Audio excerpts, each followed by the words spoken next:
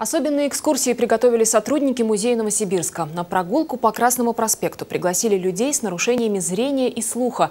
К рассказам о памятниках и примечательных местах добавили запахи и тактильные ощущения. Сотрудники музея доказали, что на историю города можно не только посмотреть, с ней можно познакомиться на ощупь. К прогулке присоединилась Анна Гурьянова. Этот аромат приятный, мы неприятные запахи с собой не брали.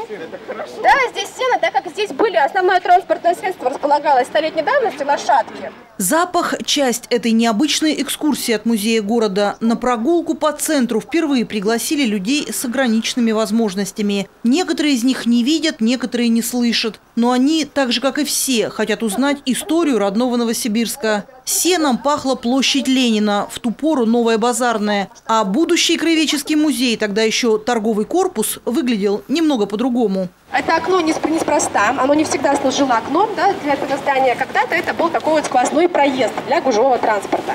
Стены можно потрогать руками, чтобы понять размеры здания. На ощупь исследовать элементы декора. Представление о красоте архитектуры даст специальная рельефная карта со шрифтом Брайля. А трость – незаменимый предмет для исследования глубины фонтана в Первомайском сквере. Нормально тростью можно дотянуться до воды.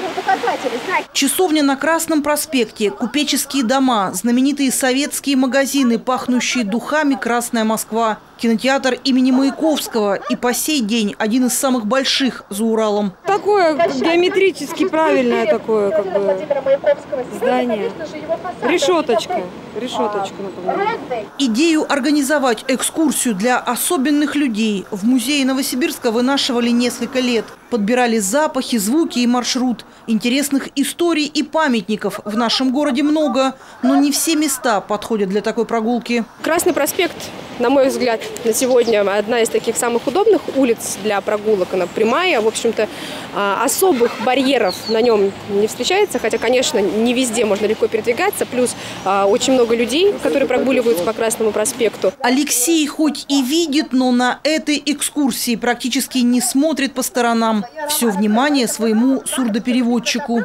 Я часто езжу по Красному проспекту, я знаю эти дома. От переводчика я получаю информацию, а по посмотреть я еще успею.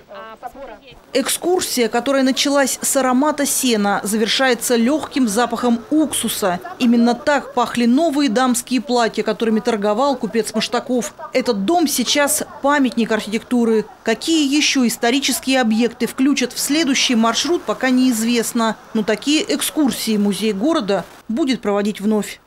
Анна Гурьянова, Дмитрий Кан, Новосибирские новости. Спасибо за то, что смотрите «Новосибирские новости». Если вы хотите оперативно получать информацию, подписывайтесь на наш канал. Ссылка внизу. А здесь мы разместили для вас интересное и полезное видео. Приятного просмотра.